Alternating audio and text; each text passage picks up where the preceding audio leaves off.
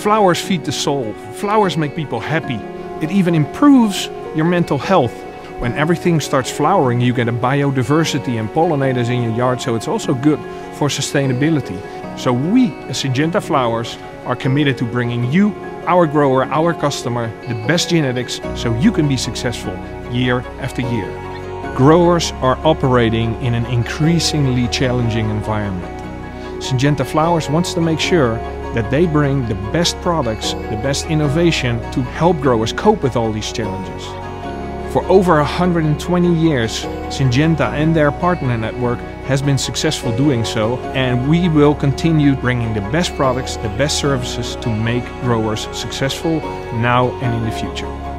To me, the most important thing for Syngenta Flowers is that we all share the same passion. Passion for our products, passion for our customers, and passion for our people because we are in the people's business and together we want to make growers successful.